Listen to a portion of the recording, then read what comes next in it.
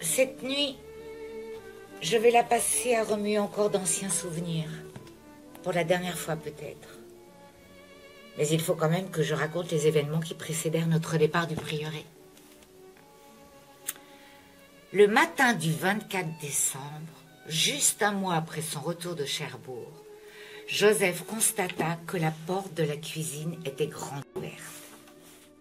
Tandis que madame regardait les caisses vides comme on regarde son enfant mort, monsieur, roulant des yeux hagards, pleurait. C'était aussi la revanche des humiliations. J'en goûtais pleinement la jouissance.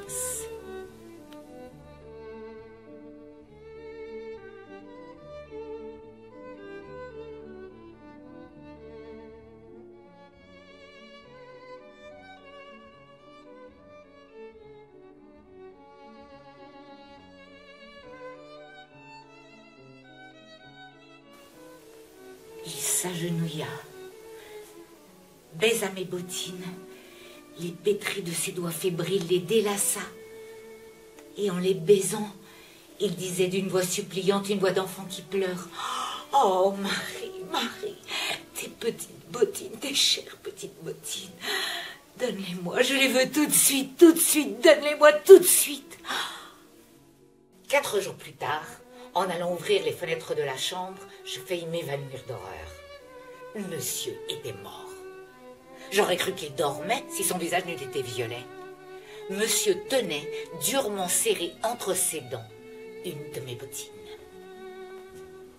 Oh, je ne suis pas une sainte. J'ai connu toutes les folies, toutes les saletés dont les hommes sont capables.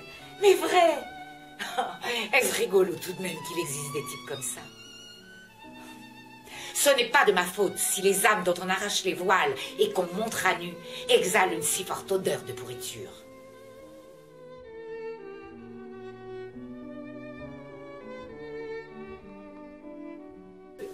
C'est à partir de ce moment que ma mère s'adonna avec rage à la boisson. Quand je rentrais le soir, il m'arrivait de la trouver étendue sur le carreau, la bouche salie de vomissements, une bouteille brisée dans la main. Ses réveils étaient terribles. Une folie de destruction l'agitait.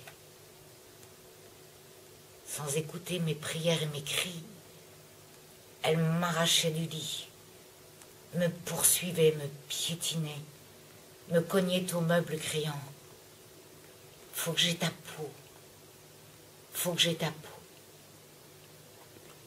Bien des fois, j'ai cru mourir.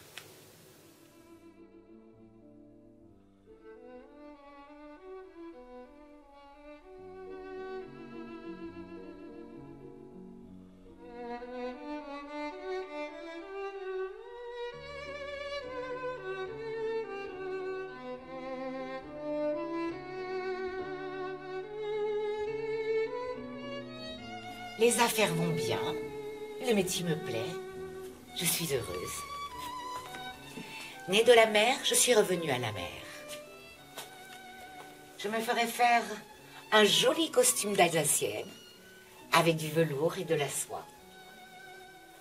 Au fond, je suis sans force contre la volonté de Joseph. Joseph me tient, me possède comme un démon, et je suis heureuse d'être à lui. Je sens que je ferai tout ce qu'il voudra et que j'irai toujours où il me dira d'aller. Jusqu'au crime.